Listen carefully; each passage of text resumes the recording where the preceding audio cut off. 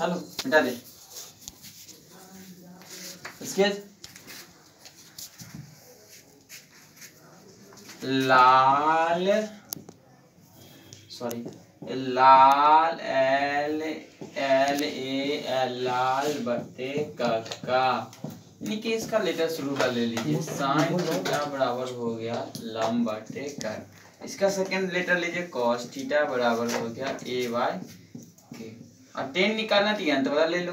Tan theta हो गया L बटे लम बटे आधा। इसका उल्टा कर देना साइन का उल्टा कोसेक हो सेक हो कोसेक हो जाएगा। कॉस का उल्टा सेक और टेन का उल्टा कोट हो जाएगा। ठीक है?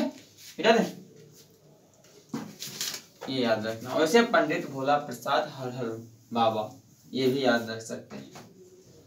आइए, जैसे आपसे एग्ज़ाम में पूछा जाएगा, पहला एग्ज़ाम्पल देखिए। एग्ज़ाम्पल नंबर एक।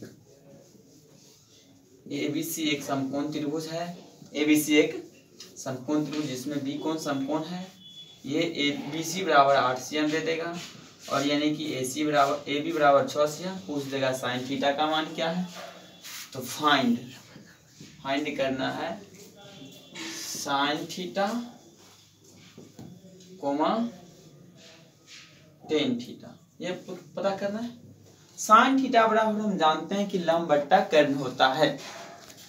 तो लंब बट्टा कर्ण कर्ण तो मुझे नहीं मालूम है, लेकिन फॉर्मूला जुगाड़ तो मुझे मालूम है। निकालेंगे ए सी पहले निकाल लेते हैं। कर्ण बराबर, यानी कि लंब स्क्वायर ए बी स्क्वायर जोड़ B C square A B कितना है? छ का स्क्वायर बी सी कितना है? आठ का स्क्वायर ये हो जाएगा आठ ही अच्छा छा छत्तीस अठू अठू चौसठ। इसको जोड़े तो ये आया एक सौ एक सौ का वर्गमूल दस होता है। ये तो पता चल गया दस। अब क्या निकालना है? पुनः, क्या हमें निकालना है? Sine theta.